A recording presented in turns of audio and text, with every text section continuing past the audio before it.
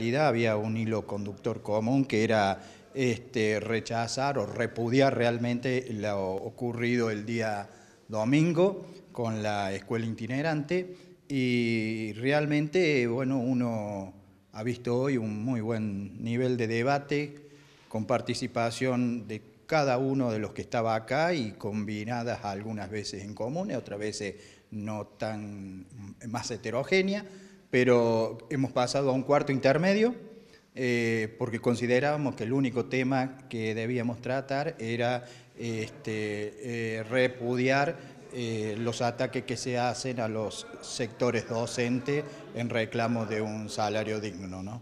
De ese debate va a surgir un documento que se va a pronunciar. Sí, ha quedado constituida una comisión, va a ser un, un documento que se va a montar sobre un documento de la una resolución del Consejo Superior anterior, donde nosotros ya también como Consejo Superior este, sentábamos un posicionamiento con respecto a los eh, descuentos de sueldo en, en la provincia de Córdoba y en otras jurisdicciones, y donde también dejamos el marco de lo que consideramos que debe ser la educación pública y financiada por el Estado. ¿no?